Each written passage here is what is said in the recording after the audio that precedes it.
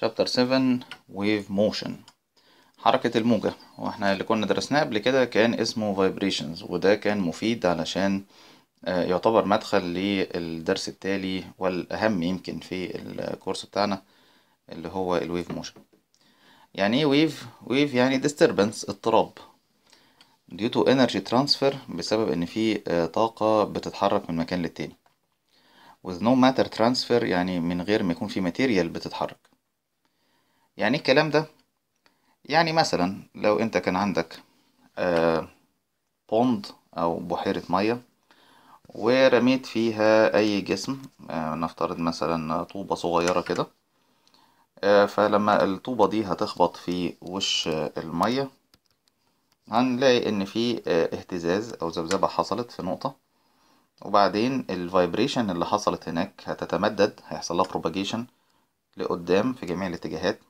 ويظهر شكل ال circular waves اللي إحنا نعرفها على وش المية لو انت جبت حبل مفرود ومسكت طرفه من ناحية وعملت فيه vibrations لفوق ولتحت فإيه اللي هيحصل؟ إن. الهزة لفوق كده أو vibration لفوق هتعمل لي الشكل ده.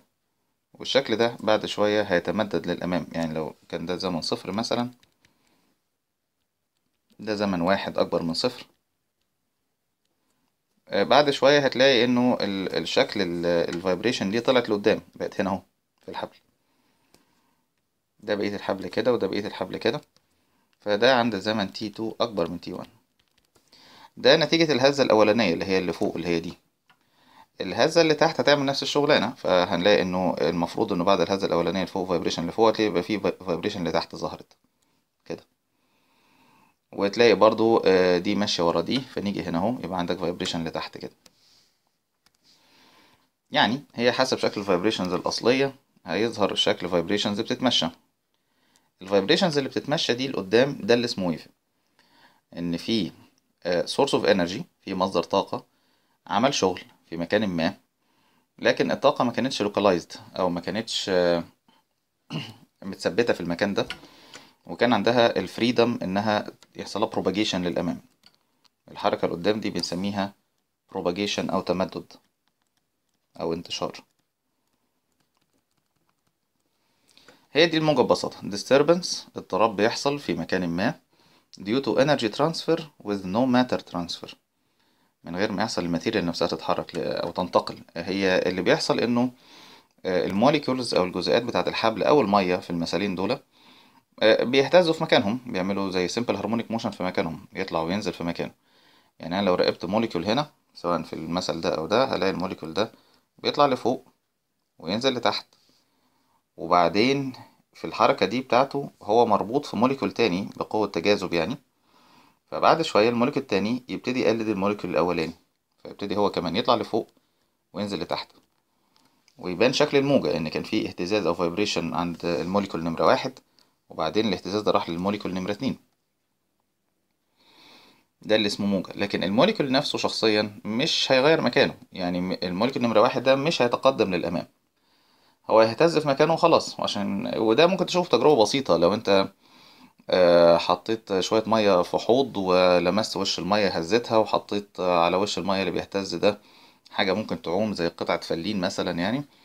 حاجة فوم كده آه، هتلاقي إنه آه، الفوم دي ما بتتحركش يعني غير لفوق وتحت لكن ما بتتقدمش للأمام يعني.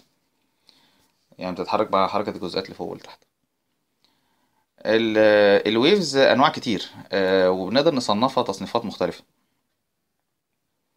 يعني classifications of waves wave classification classifications تصنيفات في تصنيفات عديدة. التصنيفات الأكثر شهرة اللي هي التصنيفات نمرة واحد واتنين اللي هقولها وبعد كده تلاتة ده أقل شيوعا يعني. ال classification الأولاني هل هي موجات مادية اللي بنسميها mechanical الموجات الميكانيكية اللي محتاجة medium عشان تمشي فيه ولا هي electromagnetic waves موجات كهرومغناطيسية مش محتاجة medium ممكن تمشي في medium أو تمشي في الفراغ. فدي بتتقسم تقسيمة نمرة واحد دي يا إما mechanical waves ومثال ذلك ال mechanical waves دي شكلها إيه بقى؟ ال mechanical waves زي مثلا اللي إحنا قلنا من شوية زي الحبل والمية و... وطبعا مشهور جدا جدا طبعا آه، موجات الصوت ال sound waves يعني ال sound waves طبعا غير المية غير ال string الحاجات اللي محتاجة medium عشان تمشي. يبقى ال mechanical waves دي needs mechanical waves need a medium for propagation.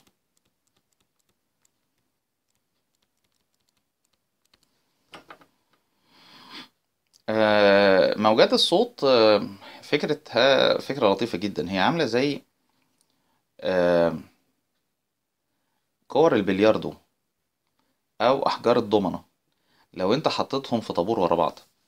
يعني ال sound wave دي بتتمشى إزاي؟ لو افترضنا إن في حد هنا بيتكلم. قدامه في الأول جزيئات الهواء أو ال molecules بتاعت الهواء محطوطة بالشكل ده مثلا. طبعا دي صورة مبسطة اللي بيحصل يعني. طبعا جزيئات الهواء ما تبقاش ثابتة بتتحرك أصلا anyway يعني. وبعدين الجدع ده اتكلم فالكلام بتاعه هو عبارة عن إيه؟ هو عبارة عن pressure أو ضغط الأحبال الصوتية بتعمله في الهواء. بتضغط الهواء وبعد كده تسيبه وتضغطه وتسيبه. فالضغط بتاع الصوت بتاعه اللي خارج من الأحبال الصوتية كما لو كان إنها force أو قوة بتزق ال molecules دي.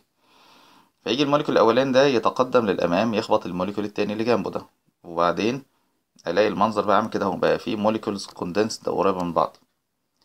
الجدع اللي خبط جيرانه دول واتلموا على بعض آه، هو ساب مكانه ورا فاضي. وبعدين بعد شوية هلاقي إنه آه، قدام شوية المنظر ده بيتكرر يعني ال molecules دي حاجة منهم هتطلع لقدام تخبط في الجايين بعد كده ويجمعوا على بعض وبعد كده أماكن فاضية وأماكن فيها تخبيط وأماكن فاضية. فده ممكن تبقى صورة في زمن معين. بعد زمن شوية هلاقي الأماكن اللي كانت مزدحمة بال molecules نتيجة التصادمات هتبقى آه، زي كور البلياردو خبطوا في بعض ويسيبوا بعض بعد كده. فهتسيب أماكنها حاجات فاضية ويقوموا يتجمعوا أو يتخبطوا في مكان تاني بالمنظر ده. فده كده ال pressure بيتقدم للأمام. يعني كان في شوية molecules خبطوا بعض في اللحظة دي بعد شوية قدام هنا في اللحظة دي هنا آه، سابوا المكان الأولاني وواحدة منهم راحت خبطت آه، مجموعة تانية وبقى في مجموعة بتخبط في بعض وبعد كده اللي خبطوا في بعض دول منهم شوية يطلعوا لقدام يخبطوا. فتلاقي إن ال pressure بيتقدم للأمام. فنقدر نميز هنا بين منطقتين منطقة فيها ضغط عالي دي منطقة compression دي منطقة ضغط عالي أو compression منطقة انضغاط. ومنطقة زي كده منطقة تخلخل منطقة فيها ضغط واطي molecules قليلة. rarefaction تخلخل. النوع ده من الموجات آه، أو ال waves اللي هو في اتجاه ات- انتشار الطاقة أو اتجاه ال propagation كده أهو. مثلا ده اتجاه propagation نختصر propagation دايما كده. ده اتجاه ال propagation أو اتجاه انتشار الطاقة. الطاقة طالعة من ال- النقطة دي من النقطة مثلا نسميها نمرة نمرة A رايحة في اتجاه double A ده اتجاه انتشار الطاقة. في نفس الوقت اتجاه ال oscillation أو ال vibration أو الاهتزاز بتاع الجزيئات. أي جزيء من دول يعني هنا أهو كان هنا وبعد كده هيروح يخبط جاره ده وبعد كده يرجع تاني وده يروح يخبط الناس اللي هناك ويرجع تاني وهكذا. اتجاه ال oscillation هو كمان في نفس ال axis أو المحور. اتجاه ال oscillation ده مش زي اللي إحنا كنا المثالين اللي اتكلمنا عليهم من شوية. في يعني موجات مادية تانية أو mechanical waves أخرى زي ال string كده. لو أنت راقبت ال molecules في ال string هتلاقي ال molecules بتطلع وتنزل على الحبل. فهو ال molecule نفسه على الحبل بيطلع وينزل فوق وتحت فدي بنسميها ال oscillation direction وفي نفس الوقت الطاقة بتتقدم للأمام فده اتجاه ال propagation direction فالاتنين دول مش زي بعض. يعني هنا ال oscillation وال propagation متعامدين على بعض. في المثال السابق اللي هو بتاع الصوت ده موازين لبعض. فدي بنسميها موجة طولية ودي موجة مستعرضة أو transverse و longitudinal ودي هنقولها قدام شوية. يعني القصة دي هتيجي قدام شوية. مش مهم دلوقتي. ماشي. يبقى ال mechanical waves زي ال water waves أو ال string waves أو ال sound waves دي كلها بتنتقل في وسط مادي محتاجة وسط. يعني انت لو رحت في الفضاء الخارجي وقعدت تتكلم ما حدش هيسمعك لأنه مفيش جزيئات هواء تضغطها وتفردها وبالتالي الموجة مش هتنتقل مش هيحصل energy transfer يعني. النظير بقى بتاعها أو الفريق التاني بقى في نفس التصنيفة دي ال electromagnetic waves الموجات الكهرومغناطيسية.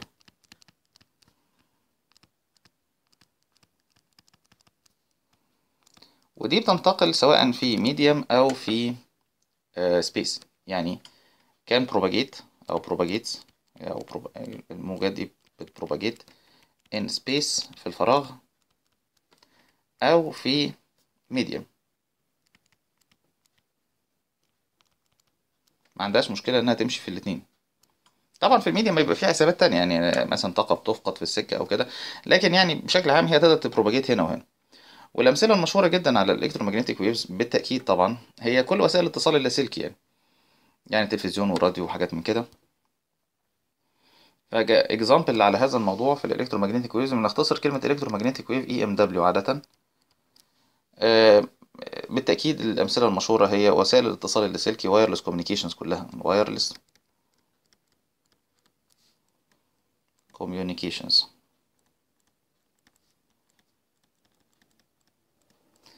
زي مين wireless communications التلفزيون والراديو وال mobile phones التليفونات المحمولة. كل دي موجات آه، كهرومغناطيسية بتنتشر في الهواء. ممكن مفيش ما يمنع وممكن تنتشر في الفراغ برضه مفيش مشكلة. زي مثلا أشعة الشمس الضوء ال light طبعا. ده بيجي في الفراغ. بيوصل من الشمس للأرض خلال الفراغ وبعد كده يخش في medium اللي هو الهواء في ال atmosphere بتاعنا يعني.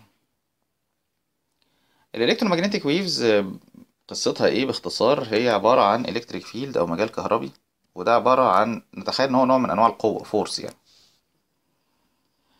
و magnetic field يعني مجال مغناطيسي وده نوع آخر من القوة. ودول هتدرسوا بعد كده بالتفصيل في كورس ال physics في ال term التاني يعني.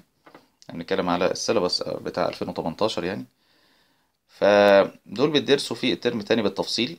آه، فهم نوعين من القوة. ده اللي نقدر نقوله دلوقتي. والاتنين بيكونوا متعامدين على بعض. وبيكون في اتجاه انتشار عمودي عليهم هما الاتنين. يعني الموجة بتمشي في هذا الاتجاه للأمام. الاتجاه الانتشار ده بنسميه k يعني. هنعرف قصة k ده قدام شوية النهاردة يعني في هذه المحاضرة يطلع ال k ده اللي هو ال propagation constant يعني. فال electric field هو بيتمشى للأمام آه، ده قوة بتغير قيمتها واتجاهها يعني لو رسمت القيمة والاتجاه بتاعته هو ك vector يعني هيبقى منظره عامل كده اهو. صح المنظر ده كده كده كده كده كده ك vector يعني. وال magnetic field هتلاقيه بيغير اتجاهه هو كمان في مستوى عمودي على مست... المستوى بتاع E k ده. بعمل كده اهو. حاجة بالمنظر ده. باصص كده وبعد كده باصص كده باصص كده باصص كده. بحيث إن حصل الضرب الاتجاهي أو ال cross product بتاع ال electric field وال magnetic field طلع اتجاه الانتشار أو ال propagation direction الضرب الاتجاهي بين أو ال cross product إنك تحط صابع إيدك اليمين مع ال electric field وتلف بصابع إيدك اليمين في اتجاه ال magnetic field كده. هتلاقي ال thumb أو ال- الإبهام بيشاور في اتجاه ال k التفاصيل الكتير دي مش مهمة. وإحنا كل اللي إحنا عايزين نعرفه إنه ال electric field وال magnetic field نوعين من القوة بيبنوا حاجة اسمها electromagnetic field مع بعض واتجاه الانتشار عمودي على الاتجاهين بتاع E و B كل التلاتة دول عمودين على بعض يعني. من الحاجات المشهورة اللي لازم نعرفها إنه الضوء آه، في منه ال visible وال invisible ال range بتاع الضوء اللي هو visible اللي هو مرئي ده بيتحدد بحاجة اسمها ال wavelength أو الطول الموجي اللي إحنا برضه هنتكلم عليه كمان شوية. بيكون الطول الموجي بتاعه في ال range ما بين 400 نانومتر و700 نانومتر. حيث الطول الموجي ده إحنا هنعرفه كمان شوية بس دي كلمة نقولها كده على جنب نخزنها هنحتاجها كمان شوية قدام. ال 400 نانومتر ده اللي هو الطول الموجي أو ال wavelength اللي بيميز اللون البنفسجي أو ال violet وال 700 نانومتر ده اللي بيميز آخر ال- الضوء المرئي اللي هو الأحمر. وإذا تعديت المنطقة دي بيبقى فيه electromagnetic فيه بس invisible ما تقدرش تشوفها يعني. يعني لو عديت ال 700 نانومتر ورحت 800 مثلا ده يبقى اسمه infrared لو نزلت تحت ال 400 ده اسمه ultraviolet وأي حاجة تاني من أنواع ال electromagnetic waves كلها غير مرئية بالنسبة لنا يعني التلفزيون والراديو والموبايل وكل ده مش ما بنشوفوش. ال X-rays هو عين الإنسان بتستجيب بس للمنطقة دي من 400 ل 700 نانومتر فعشان كده سميناها visible يعني. فالأرقام دي مهمة لأنها ممكن تكون موضع نقاش في امتحانات المعمل لما بنتكلم مثلا في experiment زي Newton's rings فيها لون اصفر مثلا أو كده. أو أخضر و experiment تانية اللي هي بتاعت diffraction grating مثلا اللي فيها. آه، كذا لون بيطلعوا. فمن المهم إن يكون ال range ده في دماغي علشان النتائج بتاعتي ما ينفعش تطلع بره المنطقة دي. أنا بتكلم عن visible light فما ينفعش إن النتائج بتاعتي تخرج بره ال range ده. ال classification التاني أو التوص... التقسيمة التانية لل ال waves يعني الاولاني دي كانت تقسيمه اللي هي ال mechanical أو electromagnetic كل ال waves يا كده يا كده. طبعا في في, نوع من ال waves غريب قوي اللي هو اللي بيسموه ال matter wave. اللي هو wave مش physical يعني ما بتتقاسي ومش حقيقية وبتخص ال quantum mechanics أو modern physics بتدرس في كورسات أخرى متقدمة. بس دي ما تتحسبش wave حقيقية اللي هي بيسموها matter wave يعني. اللي هي الموجة التي تعبر عن الخصائص الموجية للجسم يعني إن الأجسام أحيانا بتسلك سلوك موجات بيبقى ليها wave properties دي قصة كبيرة بقى ده موضوع تاني ده فيلم كبير اتعمل في بداية آه، القرن العشرين واتفتح بيه مجال ال modern physics. قصة تاني خالص يعني. ففي ناس بيصنفوا دي إنها waves بس هي يعني مش تحت التصنيفات التقليدية اللي إحنا شغالين فيها يعني اللي هي يا إما electromagnetic يا إما mechanical يعني. النوع ال classification التاني اللي إحنا جبنا سيرتها بسرعة كده من شوية اللي إن إحنا نقسم الموجة لنوع نسميه transverse أو موجة مستعرضة. وموجة longitudinal أو موجة طولية ال transverse wave بيكون فيها اتجاه ال oscillation عمودي على اتجاه ال propagation يعني مثلا زي موجة الحبل من شوية. موجة الحبل دي موجة ميكانيكية. وهي أيضا transverse wave دي موجة ال string أو الحبل. طيب ال electromagnetic wave اللي إحنا عملناها من شوية هي موجة مش mechanical مش مادية. هي electromagnetic وفي نفس الوقت برضو transverse هي كمان. يعني هي تتفق ال electric field بتاعها عمال بيتغير مع المسافة كده هو وهو طالع لقدام في الاتجاه اللي اسمه k ده. آه، طبعا هي بترسمه مع ال x وال k بقى هو يعني parallel ل x يعني اتجاه الانتشار موازي ل x مثلا فهنا ال- الموجة بتاعت الحبل ده mechanical wave وموجة الضوء مثلا دي electromagnetic wave الاتنين حسب التصنيف اللي فات مختلفين لكن حسب التصنيف ده متفقين يعني هما الاتنين electromagnetic عفوا هما الاتنين transverse ف ال oscillation direction أو اتجاه الذبذبة أو اتجاه حركة ال molecule فوق وتحت فوق وتحت فوق وتحت عمودي على اتجاه الانتشار في هذا الاتجاه كده اللي هو ال propagation direction ده بيخليها اسمها موجة مستعرضة أو transverse موجة المية آه، برضو كده. آه، الموجة بقى أو النوع التاني بقى في نفس التصنيفة دي بنسميها the longitudinal wave.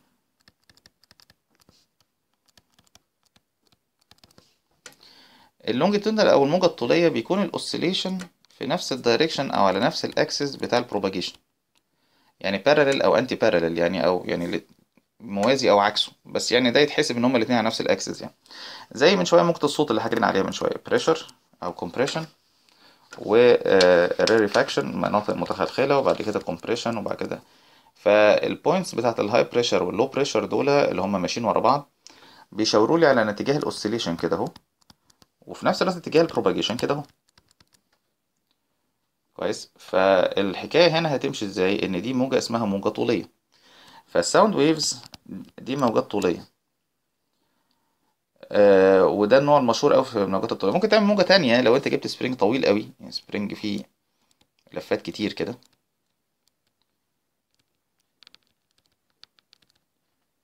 وبعدين رحت خبطت الطرف ده مثلا. فتلاقي اللفة دي انضغطت على اللي جنبها. يعني بقى في حاجة مضغوطة كده. وبعد كده حاجة مفروده وبعد كده حاجة مضغوطه وبعد كده حاجة مفروده ده بيحصل لو ال spring طويل قوي. لو ال spring قصير ما يبانش فيه الكلام ده. يعني يبان إن كله اتضغط أو كله اتفرد مثلا. فال spring لما يكون طويل قوي ممكن نبني فيه شكل برضو آه، موجة طولية أو longitudinal wave. ماشي. يبقى إحنا حسب التصنيفين اللي خدناهم لحد دلوقتي موجة الصوت تقع تحت اسم mechanical وتحت اسم longitudinal التصنيف ده والتصنيف ده. موجة الحبل تقع تحت اسم mechanical وفي نفس الوقت transverse موجة الضوء مثلا تقع تحت اسم electromagnetic و transverse آه، فالموجة الواحدة آه، يعني ممكن تحطها تحت تصنيفات عديدة يعني. هي نفس فكرة مثلا characteristics بتاعت مثلا عربية مثلا. العربية مثلا نقول إيه؟ العربية دي من حيث الألوان لونها مثلا أزرق ومن حيث آه، مثلا ال capacity أو الموتور آه، المقاس بتاعه نقول مثلا إنها أربعة سلندر مثلا. فهي نفس العربية ممكن تقع تحت عدة تصنيفات يعني. آه، من حيث مثلا عدد الركاب اللي ممكن يركبوها مثلا خمسة.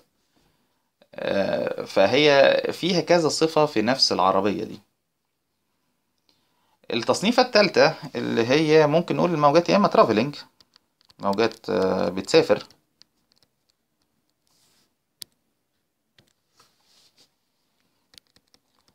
آه، أو موجات standing الموجة ال travelling أو الموجة اللي بتسافر هي الموجة اللي ببساطة بتنقل energy في اتجاه واحد و continuous progress يعني أنت طالع إيه لقدام كده مثلا على طول على طول على طول على طول حاجة بالمنظر ده يعني. فكده ده اتجاه الانتشار بتاع الموجة مثلا. زي أي موجة من اللي إحنا حكينا عليهم من شوية يعني كلهم travelling يعني. الموجة ال standing دي لازم تكون اتحبست في مكان ما. فيها boundaries بحيث إن ال energy مش قادرة تتخطى ال boundaries أو الحدود دي. الأمثلة المشهورة قوي هي الآلات الوترية في العزف مثلا. يعني إن أنت يكون عندك مثلا جيتار عود آه، violin حاجات من ذلك القبيل بيبقى فيها أي chord أو وتر مر- مربوط ما بين نقطتين. وأنت بتيجي آه، تخبطه فتعمل excitation تديله energy فتتكون موجة مثلا عايزة تروح ناحية اليمين تلاقي ال boundary تخبط فترجع ناحية الشمال ويتكون لك شكل الإيه ال standing wave وده عدى علينا في experiment في ال lab.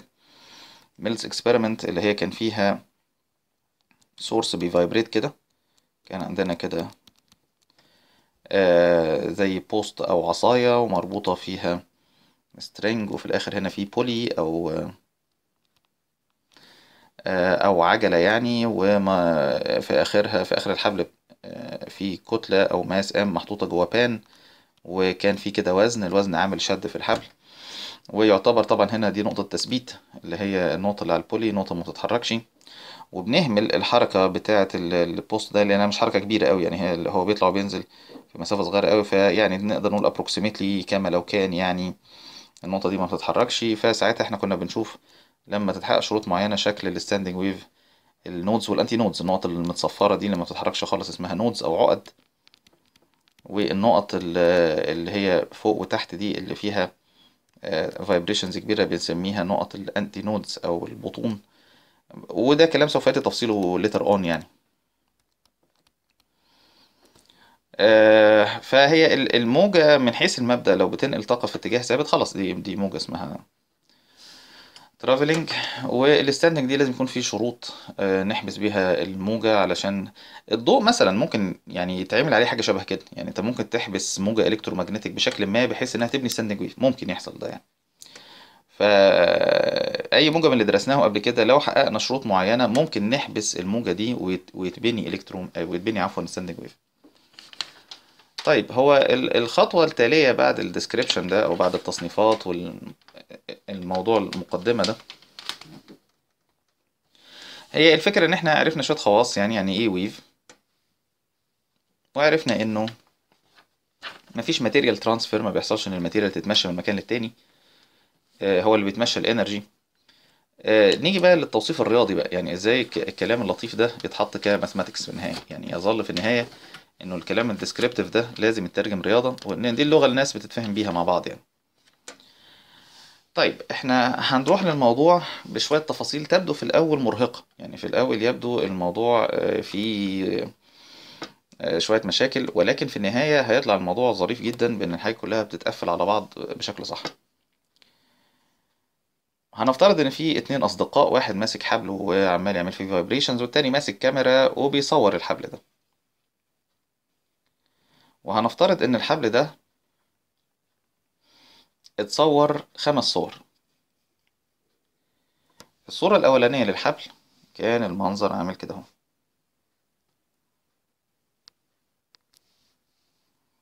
ده كده ال y axis اتجاه ال ال الارتفاع يعني. ده كده الاكس أكسس اتجاه الانتشار بتاع ال energy. الحبل بتاعنا اتصور في الوضع ده. في أول أول صورة اللي هنسميها مثلا الزمن صفر. هو ده مش الزمن صفر يعني أول ما ال- الموجة ابتدت يعني لا هو كانت الموجة شغالة شغالة شغالة وفجأة رحت واخد لها صورة وقلت إن دي أول صورة اللي هي تخص الزمن صفر. ده كان ال y ارتفاع الحبل وده كان ال x اللي هو النقط بتاعة الحبل موقعها فين. والارتفاع ال maximum اللي هتوصل له الموجة هنسميه A وال maximum الناحية التانية اللي تحت هنسميه negative A. طيب إيه الكلام اللطيف ده في الزمن صفر؟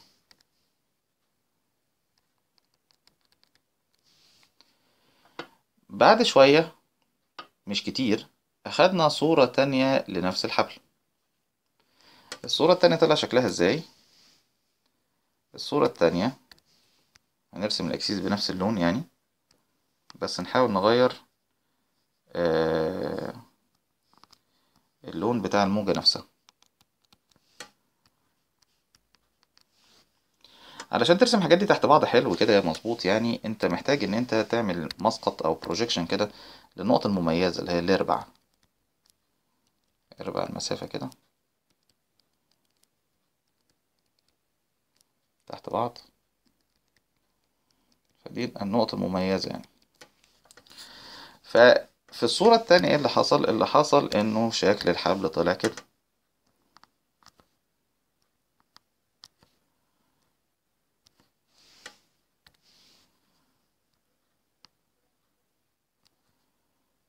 هو إحنا نحاول نحافظ برضه على نفس الامبليتيود نفس الارتفاع.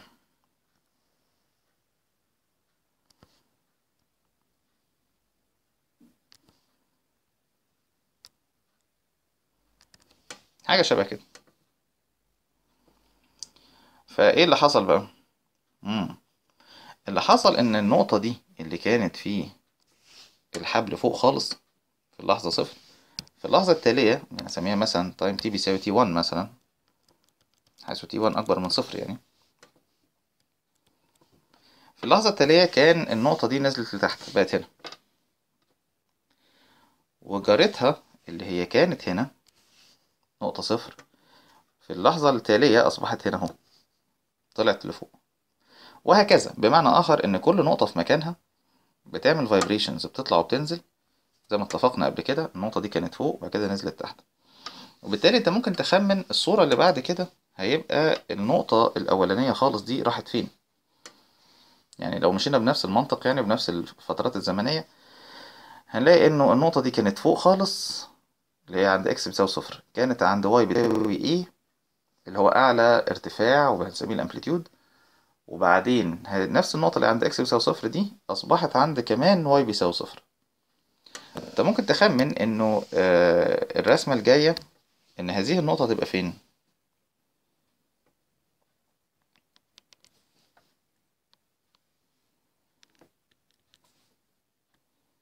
لو فضلنا ماشيين بنفس المنطق يعني. النقطة دي هتنزل تحت خالص هنا. هتبقى عند negative A وبعدين نكمل رسمة الموجة بتاعة الحبل as usual. برضو ال maximum اللي بنوصله هنا اسمه A النقطة دي.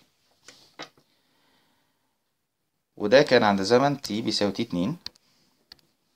T بيساوي t اتنين حيث t اتنين أكبر من t واحد. وبعدين الصورة الرابعة برضو أنت ممكن تخمن إن النقطة دي اللي هي في بداية الحبل كملت المشوار بتاعها إزاي؟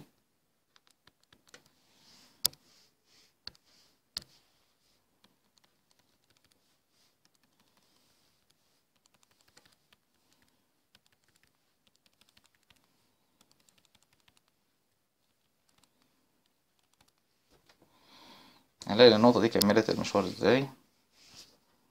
خلينا ناخد لون كمان زي اللون ده. آه النقطة أهي.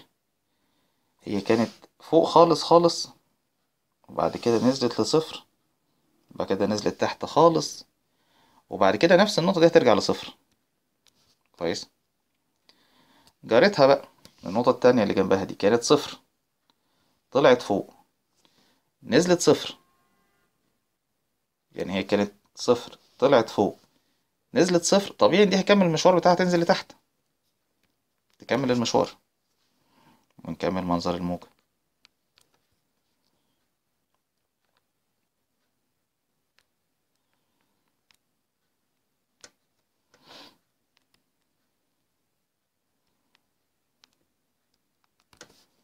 حاجة شبه كده.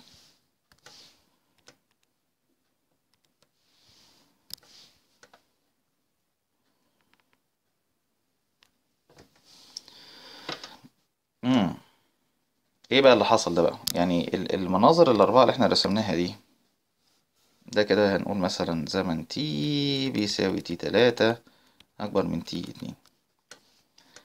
وده كده ال minimum وال maximum اللي هما ال A والسالب A as usual يعني. الصورة الخامسة بقى اللي خدها صديقنا طلعت وعشان كده مش هنرسمها.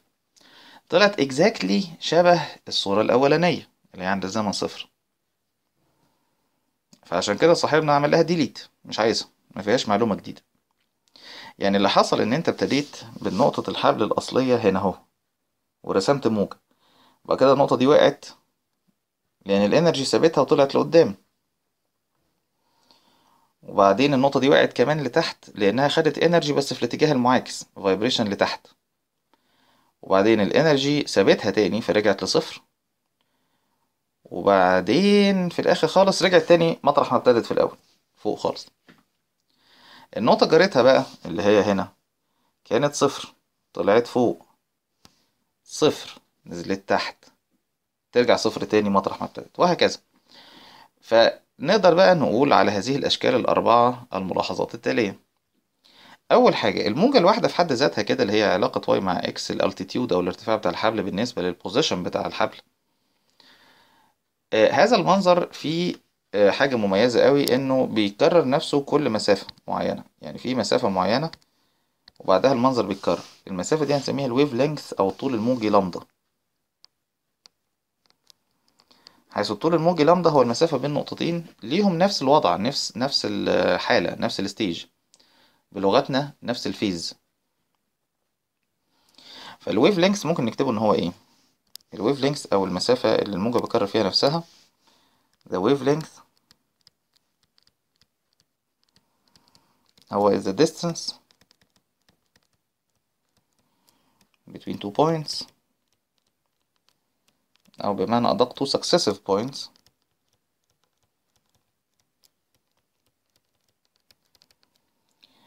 uh, of the same phase.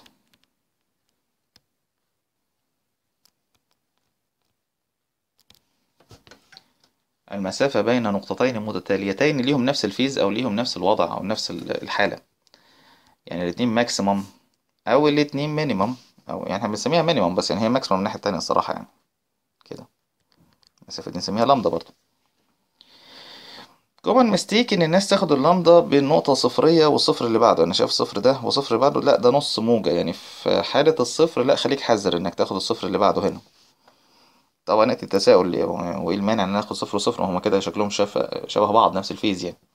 لا هما مش شبه بعض لأن أنت لو جيت تبص على الميل أو ال slope بتاع الموجة شكلها عامل إزاي هنا أهو الموجة نازلة لتحت وهنا الموجة طالعة لفوق through ال zero ده. فالحقيقة الموجة هنا وضعها مش زي الموجة هنا.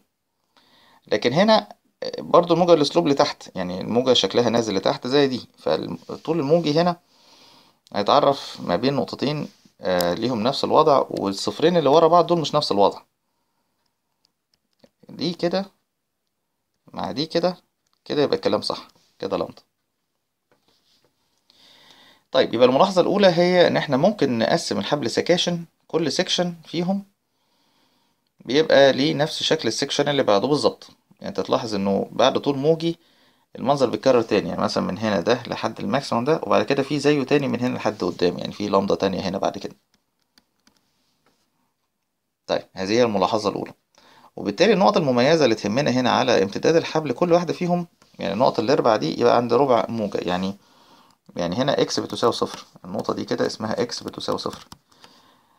طبعا هي في ال y عمالة تطلع وتنزل بس هي دايما اسمها x بتساوي صفر. طيب آه النقطة دي هنا في هذا المكان ده اسمه x بتساوي لامدا على أربعة ربع لامدا. هنا x بتساوي لامدا على اتنين.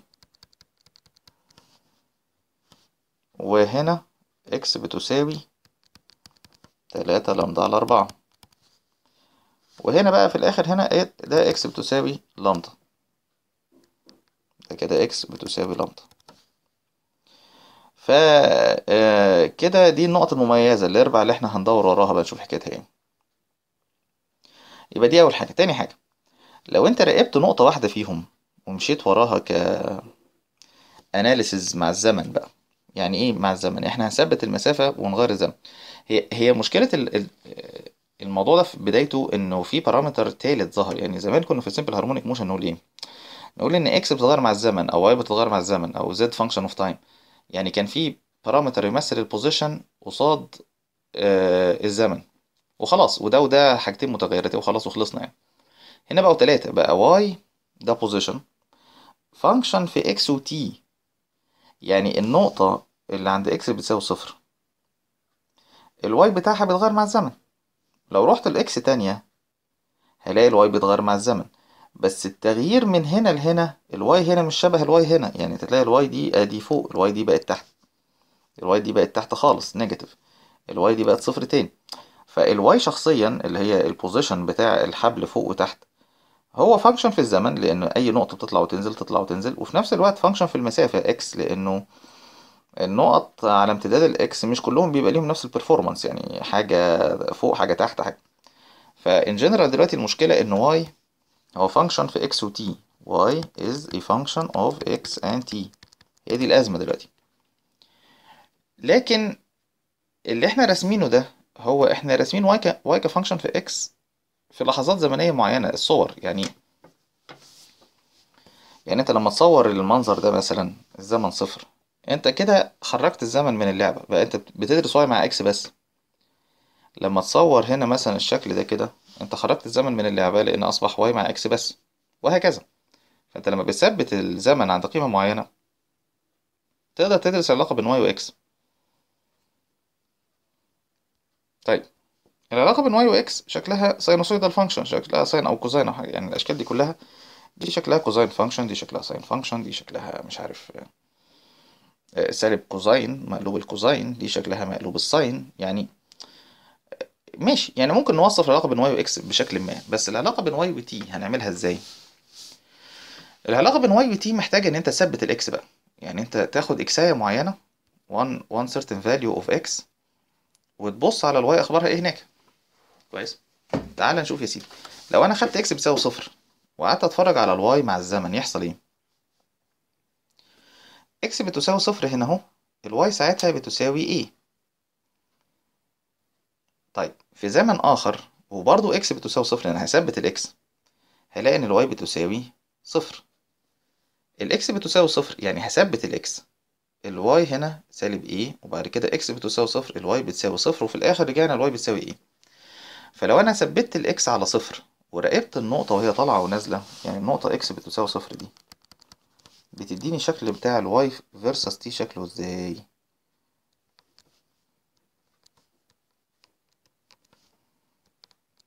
y مع t. فلو راقبت النقطة اللي هي اسمها x بصفر دي أهي a صفر سالب a صفر. نرسمها. a صفر سالب a صفر. وفي الآخر رجعت ل a تاني. الحركة دي حصلت خلال أزمنة متتالية. ده اللحظة اللي اسمها t1 ودي ال- عفوا دي اللحظة اللي اسمها يعني في الأول صفر آه اللي بعدها دي t1 صح مظبوط. دي اسمها t1 ودي اللي هي تخص الزمن اللي اسمه t2 ودي اللي تخص الزمن اللي اسمه t3 ودي اللي في الآخر ال t4 اللي إحنا يعني ما رسمناهاش اللي هي الزمن t4 اللي هي بتطابق نفس النتيجة اللي كانت عند الزمن t بيساوي صفر هنا. دي اللي هي t بتساوي صفر. طيب. العلاقة دي لو حبيت أوصفها أكتبها رياضة إزاي. ال maximum اللي أنا وصلت له هنا فوق وتحت اسمه A. وسالب A. فلو حبيت أوصف العلاقة دي أقول إن y بتساوي A cosine omega t واضح إنها cosine omega t واضح إنها simple harmonic motion إن النقطة في مكانها عند x بيساوي صفر. طالعه نازلة في ال y بتعمل simple harmonic motion أدي كل الحكاية يعني. لو أنا خدت نقطة تانية بقى عند x مختلفة. عند x بتساوي lambda by 4 مثلا. هنا النقطة دي. لو راقبتها هيحصل فيها إيه؟ هلاقي إن هذه النقطة كانت عند صفر وبعد كده بقت عند A وبعد كده بقت عند صفر وبعد كده بقت عند سالب A وبعد كده رجعت تاني لصفر. فدي لو رسمتها تترسم إزاي بقى؟ عند x بتساوي لامدا على أربعة. عايز أشوف ال y بتاعها بيتغير إزاي مع الزمن.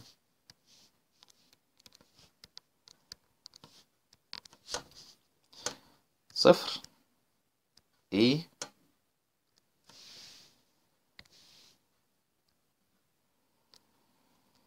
صفر. وسالب A. وصفر. الجدع ده يتمثل رياضيا بفانكشن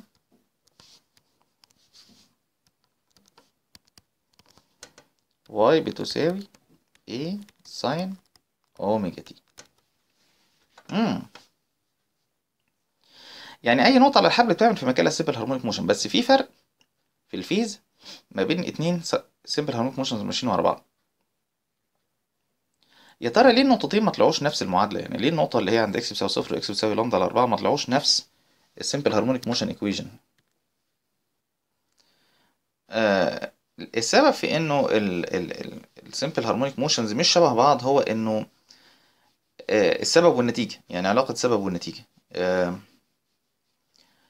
أنت مسكت طرف الحبل وهزيته الأول فأول نقطة اتهزت على طول لكن هل في نفس اللحظة كانت ال energy وصلت لتاني نقطة عشان تتهز هي كمان؟ الإجابة لأ.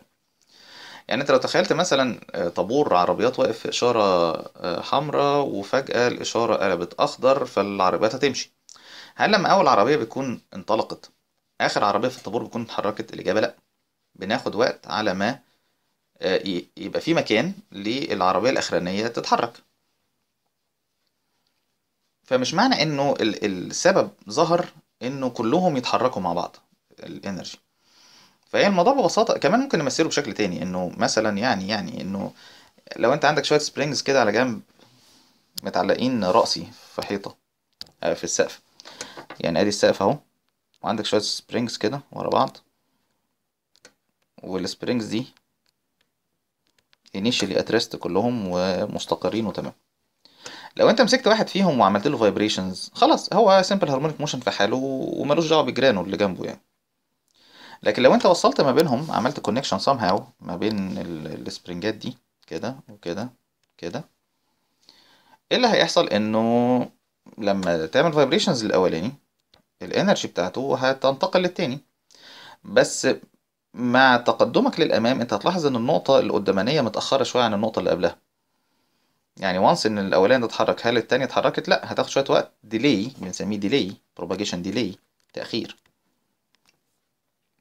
على ما هذه النقطة يوصل لها حاجة يوصل لها energy تعمل لها vibration و more delay للي بعدها و more delay للي بعدها. هو ده سبب ظهور حاجة اسمها wavelength يعني فكرة ال wavelength جت منين؟ إن في delays من نقطة للي بعدها وإنه بعد شوية delay هتلاقي في نقطة جت متأخر قوي قوي قوي قدام يعني. لدرجة إن تأخيرها خلاها شبه نقطة الأصل اللي في البداية يعني. أنت تلاحظ كده إنه النقطة اللي هي ربع لامدا دي شكلها في الفايبريشنز مش شكل أول نقطة خالص.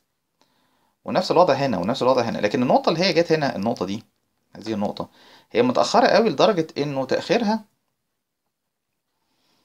خلى شكلها في الحركة شبه أول نقطة فالتأخيرات دي هنعرف إنها يعني كل ربع لامدا أنت بتتأخر 90 درجة يعني فالتأخير بعد لامدا كاملة أنت بتتأخر 360 درجة اللي هو بيخلي يعني النتيجة النهائية صحيح متأخرة هي متأخرة بس التأخير بتاعها يؤدي إلى إنها تبقى شبه أول نقطة يعني. ف... ففكرة ال delay هي اللي ورا ال equation بقى خلاص يعني هي دي قصة الرياضة اللي عندنا إن أنت عايز تعبر بقى عن ال delays ال delay effect بين أول نقطة عند x بيساوي صفر وتاني نقطة عند x بيساوي لامدا على أربعة ال delay term ده definitely related لل x. أكيد كل ما ال x تتغير لقدام في تأخير أكتر.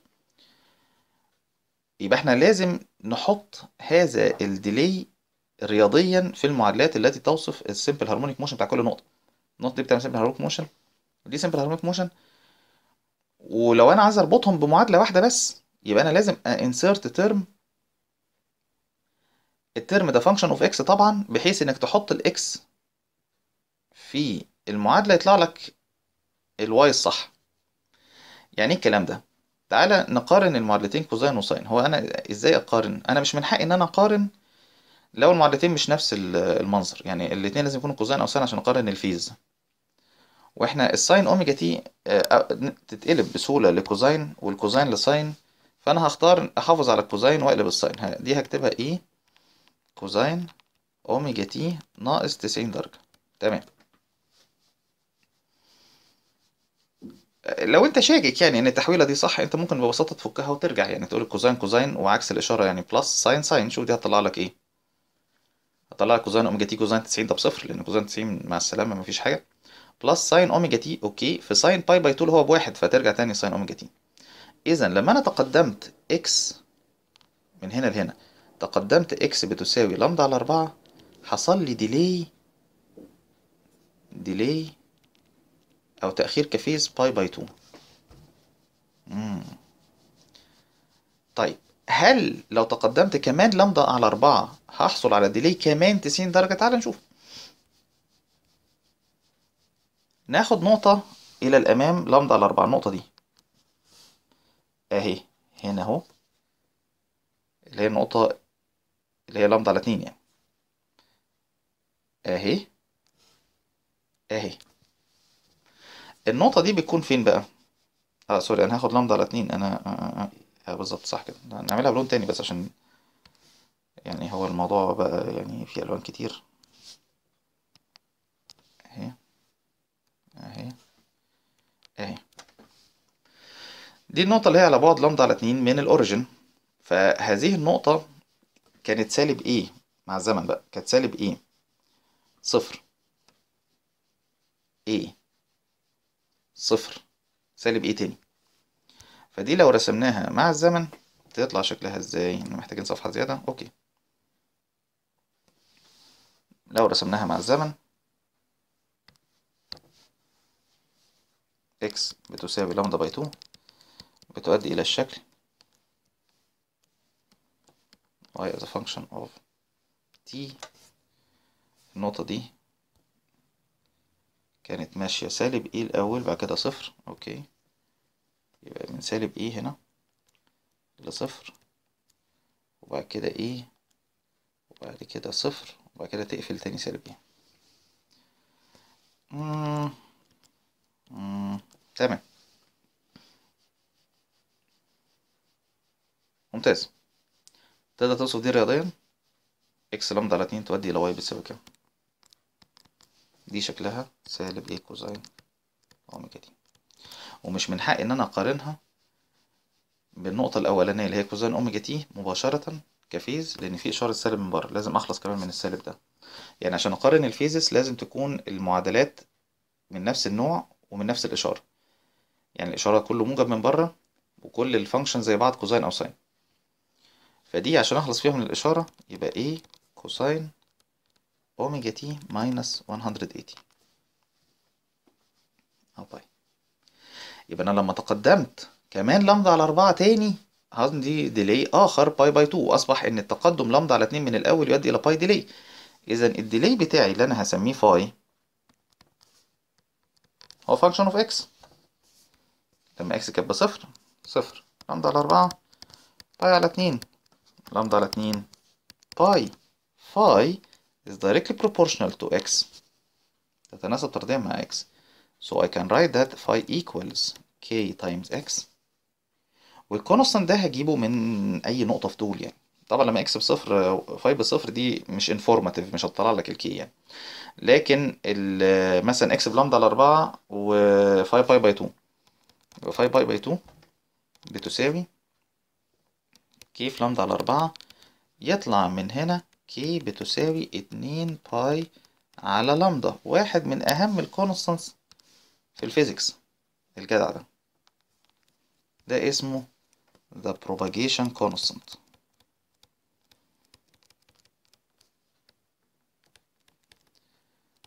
الوحدة بتاعته راديان على متر لأنه اتنين pi فوق وتحت متر لامدا لو انت مش مصدق ممكن تجرب النقطة اللي بعدها. يعني يحصل إيه لو كانت هنا هتجرب lambda by 2 اللي هي النقطة اللي بعد كده. لو انت جربت هنا آه، lambda by 2 ك x يعني. وال phi قصادها pi برضه هطلع لك اتنين لامدا. وبالتالي انت ممكن تعمل one equation بس واحدة وحيدة فقط توصف بيها كل النقط اللي على الحبل. يعني مش نقطة نقطة بقى هو إحنا هنقعد نعمل equation لكل نقطة دي طلعت مش عارف a cosine omega t والتانية اللي بعدها طلعت a sine omega t واللي بعدها طلعت سالب a cosine omega. لا إحنا هنكتب معادلة واحدة توصف كل نقط الحبل. a cosine omega t ناقص ال delay اللي اسمه phi وهحط k x ودي بقى اسمها the wave equation معادلة الموجة.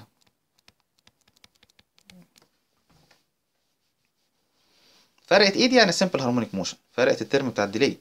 اللي هو بيقول لك إن في عندك طابور من ال simple harmonic motions بس هذا الطابور يعني كل واحدة متأخرة عن اللي قبلها يعني. أدي كل الحكاية ده ما فيش أكتر من كده يعني. طيب ما أنا عايز أتأكد بقى عايز أ verify. أنا دلوقتي وصلت لهذه النتيجة. ينفع أتأكد؟ يعني ينفع مثلا أجرب المعادلة دي مع نقطة مختلفة من النقطه اللي إحنا ما شفناهاش؟ تعال نجرب. يعني مثلا لو خدنا نقطة اللي هي 3 لامدا على 4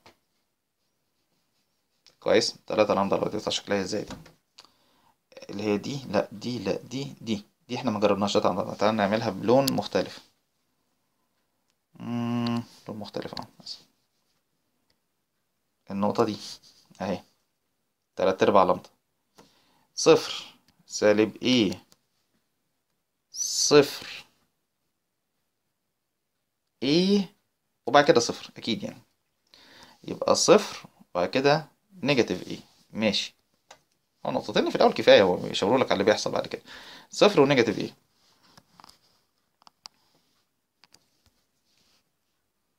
مم. صفر و negative a؟ بعد كده. تحت يبقى y as a function of t عند x بتساوي تلات أرباع لامدا. دي شكلها إن ال y بتساوي الشكل ده يطلع إيه ده؟ ده سالب sine. سالب a sine omega t طيب هل بقى ال wave equation بتاعتي طلع لي المنظر ده؟ ماشي نجيب ال wave equation ال y في ال wave equation in general بتساوي a cosine omega t minus k x شيل ال x وحط مكانها النقطة اللي انت واقف عندها بتدرسها اللي هي تلات أرباع لامدا طيب ال k x هتساوي كام ساعتها؟ يبقى ال k x هتساوي اتنين pi على لامدا ده ال k مضروبة في ال x تلات أرباع لامدا فده يطلع كام.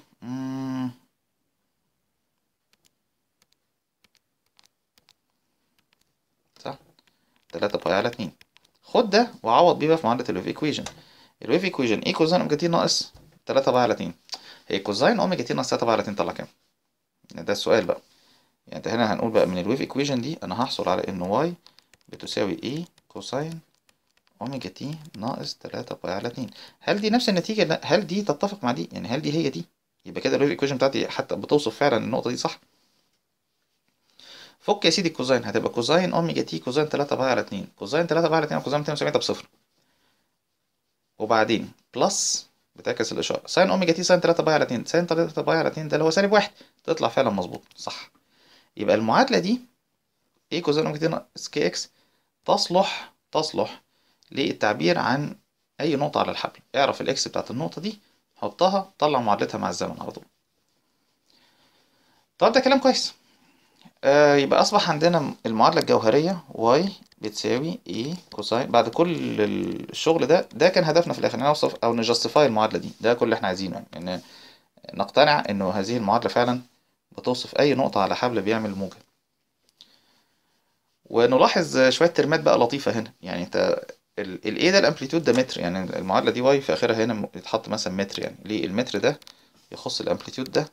اللي هو يدي الوحدة بتاعت ال y برضه. ال cosine شخصيا ملهاش unit اللي جوه ال cosine لازم يطلع راديان وإحنا عارفين إن اوميجا هي radian per second ومضروبة في زمن اللي هو second وهنا ال k ده radian per متر ومضروب في متر فيطلع اللي جوه فعلا راديان الملاحظة التالية هي إنه الزمن بقى هنا t و x دول متغيرات الاثنين ال parameters اللي ال y function فيهم. ال A وال omega وال k دول كلهم constants وال omega t ناقص k x ده على بعضه كده اسمه ال phase. نعملها بلون تاني. نقول إنه ممكن نكتب y بتساوي A cosine theta حيث ثيتا هي ال total phase اللي هي omega t ناقص k x.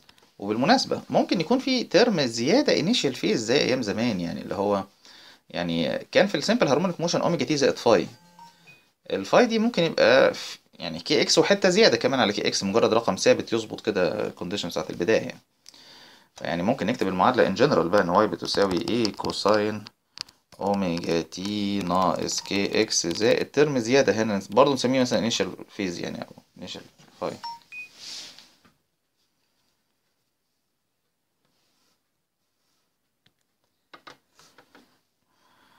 طيب آه، بعيدا عن ال phi ده يعني مش قصتنا قوي يعني أنا لسه in very special case فيها ال phi نقدر نقول إنه المعادلات دي فيها كمان آه، نقطة تخص الزمن ما قلناهاش إنه الأوميجا دي هي زي ما إحنا عارفين يعني 2 pi على ال periodic time مين ال periodic time ال periodic time بتاع أي simple harmonic motion في دول هم كلهم نفس ال simple harmonic motion بس متأخرة عن بعض يعني كل واحدة بتطلع وتنزل وكده وتعمل simple harmonic motion فنلاحظ يعني إنه ال simple harmonic motion زمانها الدوري T يعني النقطة دي كانت فوق نزلت تحت نزلت تحت طلعت فوق طلعت فوق ده كده اسمه one complete cycle فالأزمنة حقيقة اللي إحنا راسمينها دي هي أزمنة تخص رباع ال cycle يعني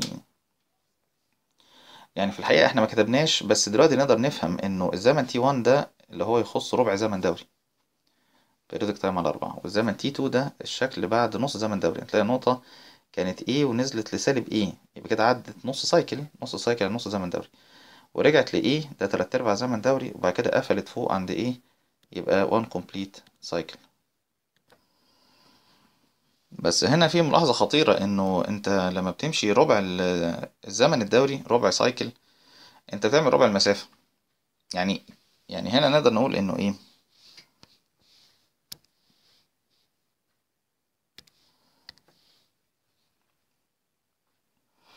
النقطة دي نزلت لهنا. فخدت ربع المشوار ربع المشوار المشوار كله 2 A يعني انت بتنزل A A A A ده أر- 2 A فربع المشوار المشوار كله 4 A المشوار كله 4 A فا A A 2 3 4 المشوار 4 A فإنك كونك تنزل من A لصفر ده ربع المشوار. فهنا هي مشيت ربع المشوار. فربع المشوار كان ربع زمن دوري كان ربع cycle وكمان ربع مشوار هنا اهو ده كده يبقى نص زمن دوري تلات ارباع مشوار وبعد كده نقفل مشوار كامل. فالأزمنة اللي هنا دي اللي هي زمن حقيقة بقى الزمن ده اسمه صفر والزمن ده اسمه ربع cycle والزمن ده اسمه نص cycle والزمن ده اسمه تلات أرباع cycle. بس الملاحظة الخطيرة إنه مش تمن المشوار في تمن ال time. يعني هي مظبوطة في الاربع يعني ربع المشوار اللي هو ال A ده بيناظر periodic time by 4 لكن لو انت جربت على الآلة الحاسبة كده تشوف طيب أنا بعمل تمن مشوار في قد إيه؟ تمن المشوار هو المشوار 4 A؟ تمنه اللي هو نص A؟ يعني توصل من A لحد نص A كده. حط بقى ال ال x بتاع أو ال y أو whatever يعني. معادله simple harmonic motion أنت كنت مثلا بتقول y بيساوي A cosine omega t حط ال y ب A على 2 وشوف ال t هيطلع كام. هتلاقيه سدس زمن دوري 1 over 6 periodic time لأن ال velocity مش linear function أو يعني مش constant ال velocity مش constant والعلاقة بتاعت ال x مع t ما هياش linear function هي cosine function أو sine function فهي الفكرة إنه في الأربع مظبوط لكن بعيدا عن الأربع لا. يعني ما نقدرش نقول إن تمن المسافة في تمن ال periodic time. ده كده تبقى ساعتها العلاقة x مع t علاقة straight line لكن هي مش كده هي cosine function المهم يعني طيب ال- الملاحظة التالية إن إحنا عندنا حركتين واحدة فوق تحت مع ال y دي حركة ودي simple harmonic motion وخلاص يعني مش أكتر من كده يعني. وفي بقى اتجاه انتشار الموجة. في اتجاه انتشار الموجة. اتجاه انتشار الموجة ده إن الموجة ماشية لقدام. أنا لو خدت لقطة من اللي فاتوا ونفترض اللقطة الأولانية اللي هي y مع x في الزمن صفر مثلا يعني.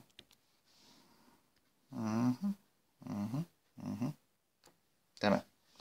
عند ال A وعند السالب A وده الزمن صفر. باللون الأخضر.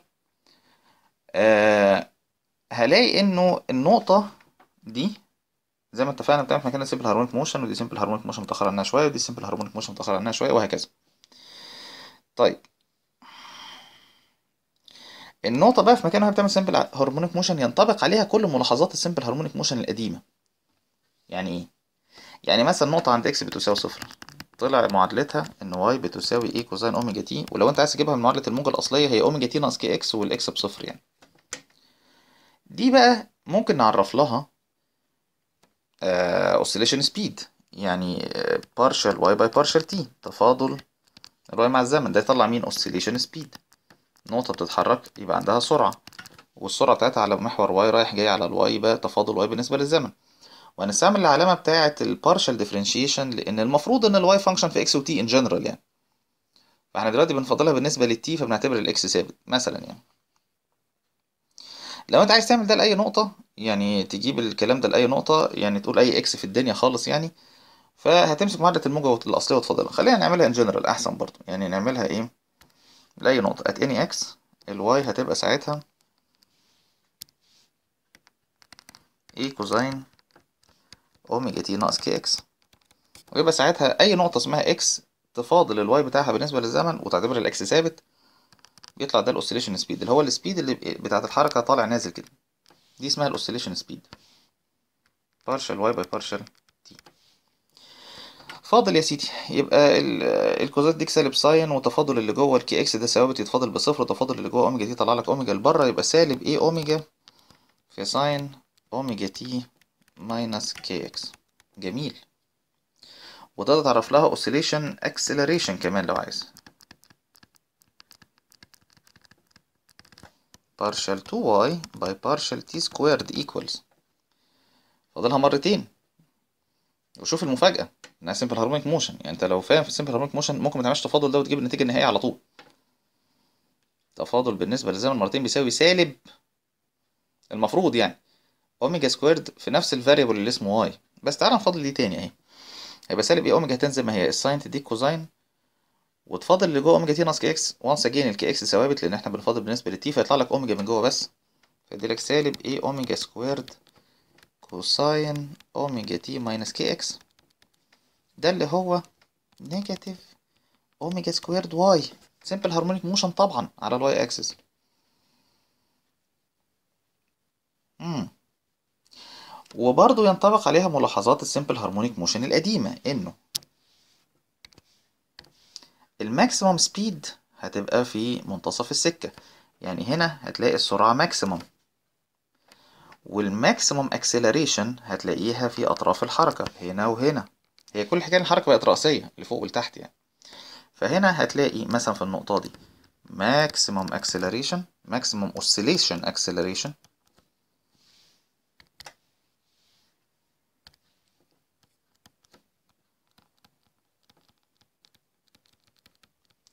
and zero speed. Zero oscillation speed. ونفس القصة في النقطة اللي فوق خالص دي. كده برضو نفس الموضوع. النقطة بقى اللي في ال center دي هتلاقي عندها إيه؟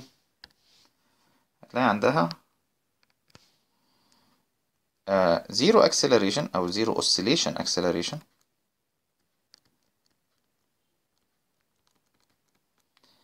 And maximum oscillation speed. والقيم ال maximum برضو نفس الفيلم اللي هو A omega دي أعلى سرعة و A omega squared دي أعلى acceleration زي أيام زمان برضو. زي أيام زمان برضو. ماشي الكلام. طيب أمال إيه بقى حكاية إن ال energy بتتقدم للأمام؟ ال energy هي كمان ليها سرعة. يعني في في سرعة التقدم بتاع ال energy للأمام. يعني انت دلوقتي ارسم لقطتين بقى من اللقطات اللي فاتوا. إحنا رسمنا أربع لقطات عند الزمن صفر. و periodic time على اربعة وعلى اتنين وتلات ارباع. تعالى نرسم بقى اتنين منهم ورا بعض. يعني مثلا اللقطة اللي تخص الزمن صفر مثلا هي دي. واللقطة اللي تخص الزمن periodic time على اربعة اللي هي دي.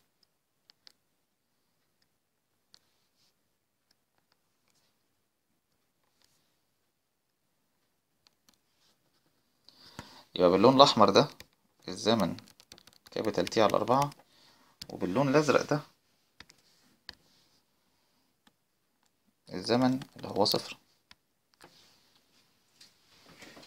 ماشي الحال. طيب آه الاتنين بيوصلوا لنفس ال maximum اللي اسمه A وبينزلوا سالب A والاتنين فيهم simple harmonic motions على ال y axis وكل حاجة زي بعض. باستثناء إنه اللقطة دي متأخرة عن اللقطة دي زي ما اتفقنا إن في delay طب يا ترى ال delay ده بقى أو يعني اللي حصل إيه نتيجة ال delay ده؟ اللي حصل إنه في واحدة كانت فيها peak يعني energy وبعدين في اللحظة اللي بعدها اللي هي اللون الأحمر وقعت تحت أهي نفس النقطة وقعت. أختها بقى اللي هنا عند lambda by 4 ده كده اللي هو x بيساوي lambda by 4 كانت هنا وفي اللقطة الجديدة اللي هي اللون الأحمر بقت هنا يعني دي نزلت ودي طلعت. أزرق بقى أحمر أزرق بقى أحمر. فدي نزلت ودي طلعت كل واحدة ما سابتش مكانها. يعني ما فيش واحدة اتزاحت في اتجاه x هي بس بتطلع وتنزل في اتجاه y فيتهيألي كده إن ال peak أو ال maximum اتزاحت لقدام. كده. أنت محتاج مثلا ترسم الموجة دي وترسم الموجة دي وتبص هنا وتبص هنا. وتشوف الفرق اللي حصل بينهم إيه؟ إنه ال peak اتزاحت لقدام. نقطة ال maximum النقطة ال energetic وممكن تلاحظ ده برضو في أي نقطة يعني أي منظر تاني يعني آخد نقطتين ورا بعض. فهي الفكرة إنه الموجة اتزاحت لامدا على أربعة مسافة لامدا على أربعة إلى الأمام. حصل ده في قد إيه وقت؟ ده حصل بينما النقطة اللي هي مثلا دي عند x بتساوي صفر وقعت عملت ربع cycle. أو النقطة اللي جارتها هنا طلعت يعني عملت ربع cycle أو ربع زمن دوري. يبقى ممكن أعرف سرعة لانتشار الطاقة. بنسميها phase velocity بتساوي المسافة التي تقدمت فيها ال energy على الزمن اللي حصل فيه تقدم ال energy. وهذه السرعة بنديها رمز V وتطلع لامدا على capital T وبمعنى آخر لامدا في f. وبرضه بتساوي أوميجا على k أنت دي مشهورة أوي أوميجا على k دي. أنت لو فكيت الأوميجا وال k على جنب كده الأوميجا اتنين pi في f وال k اتنين pi على لامدا ده يطلع لك lambda f صح؟ ف ال phase velocity اللي هي السرعة بتاعت انتشار الطاقة للأمام بتطلع لامدا على periodic time. وفي الحقيقة هي سرعة ثابتة وبالتالي ما نقدرش نعرف acceleration. acceleration هي بصفر. يبقى أنا عندي ظاهرتين. ظاهرة ال oscillation في ال vertical direction y بالسرعة بتاعتها بال acceleration بتاعتها وفي نفس الوقت بيحصل إن ال energy تتقدم للأمام في اتجاه x بهذه السرعة اللي بنسميها ال phase velocity. ماشي. حاجة كمان نحب نقولها هنا إن y بتساوي a cosine omega t ناقص k x لو أنا اشتغلتها برضو sine ما جراش حاجة. هتظل النتائج السابقة كويسة. ال sine وال cosine بينهم فرق تسعين درجة مش أكتر من كده فممكن نشتغل المسائل بال sine أو ال cosine حسب ظروف المسألة. بس لما ال term ين دول يكونوا مختلفين في الإشارة يعني ال omega t موجب وال k x سالب أو لو كتبناها y بتساوي a cosine أو sine مش مهم. ال k x هو اللي موجب وال omega t هو اللي سالب. هنتفق على إن ده معناه إن يعني لما ال term ين يكونوا مختلفين في الإشارة ده معناه إن ال propagation is in the positive x direction. في اتجاه ال x الموجب يعني الموجة ماشية كده اهو. في هذا الاتجاه. اللي هو positive x. لو إحنا كتبنا y بتساوي a cosine أو sine مش مهم. بس الاشارات جوه زي بعض يعني omega t زائد k x ده الاتنين positive أو y بتساوي a cosine أو sine مش مهم. negative omega t negative k x الإشارات برضو زي بعض بس سالب. هنقول إن ده اسمه propagation in أو propagation is in the negative x direction. يعني الموجة ماشية كده أهو رايحة شمال عكس اتجاه x ماشي كلام. بس يعني مش هنخش في تفاصيل رياضة يعني يعني إحنا إحنا يعني اكتفينا بإن إحنا يعني جبنا a cosine omega t ناقص x الباقي ده يعني يطول شرحه بس إحنا هنتفق على هذه الاتفاقات يعني. يتبقى لنا في هذا ال chapter نقطة أخيرة ووحيدة. النقطة الأخيرة هنا إنه إحنا عايزين يعني نوضح إنه ال approach اللي فات ده أو طريقة المقاربة لهذا الموضوع اللي إحنا استعرضناها اللي هي انتهت بإن y بتساوي A cosine omega t ناقص k x هذه طريقة مقاربة بسيطة أبسط كثيرا من الحقيقة. ال- ال- الحقيقة إنه إحنا جبنا هنا الإجابة قبل السؤال. هو في الحقيقة الناس بتتعامل مع ال waves بمدخل تاني خالص. يعني يكون عندك wave problem زي ما اتفقنا هي يا mechanical يا electromagnetic يعني يا كده يا كده. ال mechanical waves وزي ما نشوف في chapter 8 هي انت بتجيبها بان انت بتحل مسألة ميكانيكا يعني. يعني قوانين نيوتن. المس... ال- ال- النوع التاني اللي هو ال electromagnetic ده بيجي بان انت تحل مسألة electromagnetic والقوانين الموز... المناظرة لنيوتن في الميكانيكا هي قوانين ماكسويل في ال electromagnetism ماكسويل هو. الكبير في المنطقة دي زي نيوتن في المنطقة دي. فالفكرة إنه المعادلة الحاكمة أو اللي بتحكم المواضيع دي يا إما بتيجي من ان أنت بتحل مسألة ميكانيكا بقانون نيوتن يا بتحل مسألة electromagnetic waves بقوانين ماكسويل وفي الحالتين دي أو دي بتوصلك ل second order differential equation معادلة تفاضلية درجة تانية. وإحنا سمعنا الكلمة دي قبل كده المعادلة التفاضلية درجة تانية دي عدت علينا لما اتكلمنا عن ال simple harmonic motion وقلنا ساعتها إن المدخل بتاع simple harmonic motion إحنا عملناه x double dot بيساوي سالب اوميجا تربيع x لو حد فاكر دي كان برضو آه، عملنا لها مدخلين الطريقة بتاعت ال circular motion وال circular motion دي كانت طريقة مبسطة للناس اللي ما تعرفش رياضة متقدمة بتاعت ال differential equations يعني.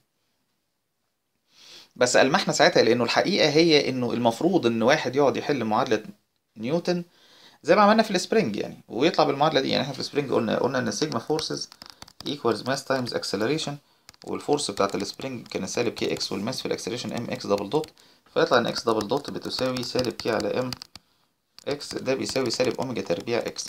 دي معادلة تفاضلية درجة تانية وإحنا منعرفش نحلها دلوقتي. بس إحنا قدمنا الحل من خلال فكرة المساقط بتاعة ال circular motion إحنا هنا في ال waves عملنا نفس ال approach يعني إحنا قدمنا الحل بإن إحنا يعني عملنا حبل وصورناه وشفنا ال peak بتتقدم للأمام إزاي والقصص دي. بس هو المفروض إن المدخل الحقيقي لهذا الموضوع هو إن أنت تمسك معادلة ميكانيكا أو معادلة electromagnetic waves وتقعد تحلها وتوصل لمنظر second order differential equation زي ما حصل في الايه في ال simple harmonic motion هنا. طب يا ترى هي مين ال second order differential equation اللي تخص ال waves؟ واللي أنا مش عارف أحلها دلوقتي anyway يعني. بتيجي إزاي يعني, يعني فين ال second order differential equation الأصلية اللي بتطلع لنا من نيوتن أو من ماكسويل يعني؟ هي بسيطة خالص هي القصة إنه أنت مسكت ال y قبل كده وفاضلتها مرتين. يعني من شوية كده لما إحنا جبنا ال acceleration بتاعت ال oscillatory motion في ال y axis إحنا قلنا تفاضل y بالنسبة للزمن مرتين. طلع سالب أوميجا تربيع y أنت ممكن تعمل تفاضل y بالنسبة ل x مرتين هو كمان. يعني أنت لو خدت المعادلة دي وفاضلتها بالنسبة ل x مرتين تحصل على إيه؟ لو انت فاضلت y بالنسبة ل x هو انت لو نبيه شوية هجيبها بنفس المنطق يعني دي تفاضل مرتين واي بالنسبة ل t طلعت سالب ثابت في y. الثابت ده هو الثابت اللي يخص ال t يعني متربع. فانت ممكن على طول بقى إيه لو انت بال analogy يعني بالتماثل يعني هتطلع سالب حاجة في y برضو.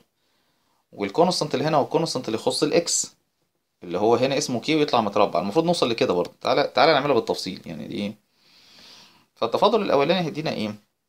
طبعا تفاضل جزئي برضه partial differentiation ونعتبر إن ال t هو اللي ثابت دلوقتي فهيبقى ال cosine يديك سالب sine والتفاضل اللي جنب ال x اللي هو سالب k فسالب k مع سالب sine يطلع a k sine omega t ناقص k x لو فاضلتهم كمان مرة partial 2y by partial x squared هتمسك ده تفاضله تاني. ال sine تديك cosine ما جراش حاجة. وتفاضل اللي جوه اللي هو سالب k فيطلع لك سالب a k تربيع.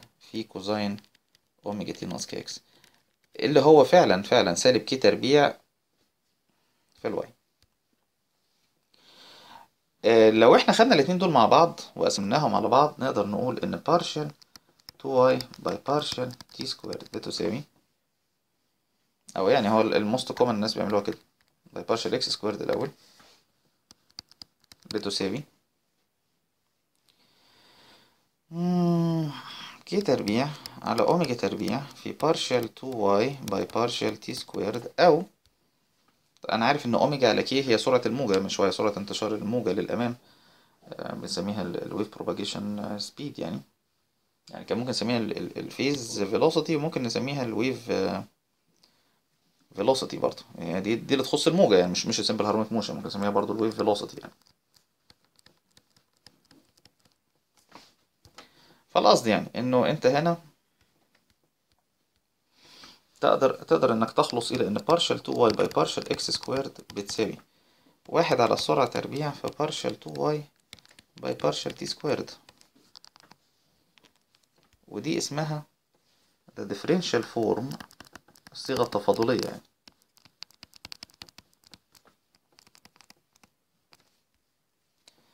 of the wave equation. يمكن لاحظت إن equation أو معادلة بنختصرها EQN عادة فهي الفكرة إن partial 2y by partial x تربيع واحد على v تربيع partial 2y by partial t تربيع. دي اللي بتطلع بقى لما تيجي تحل مسألة نيوتن. ودي بقى اللي هي يعني لما تصطدم بدي هي حلها هو y بتساوي a cosine omega t ناقص x يعني إحنا استعرضنا الحل الأول بعد كده جبنا السؤال. ليه؟ لأن معلوماتنا الرياضية لا تسمح بأكثر من ذلك. فإحنا لما نلاقي بعد كده في المستقبل هذه المعادلة نبقى عارفين نحلها اوتوماتيك y بتساوي a cosine omega t ناقص x في ال chapters القادمة سوف نستعرض مثال على هذه المعادلة التفاضلية درجة تانية اللي هو مثال الحبل chapter 8 وهنطلع بقى الحل بتاعه كمسألة نيوتن يعني ونشوف إزاي ال differential equation دي مفيدة. و later on بقى هناخد ال waves بقى في اتجاه ال optics وإزاي ندرس بقى interference و diffraction وشكرا جزيلا.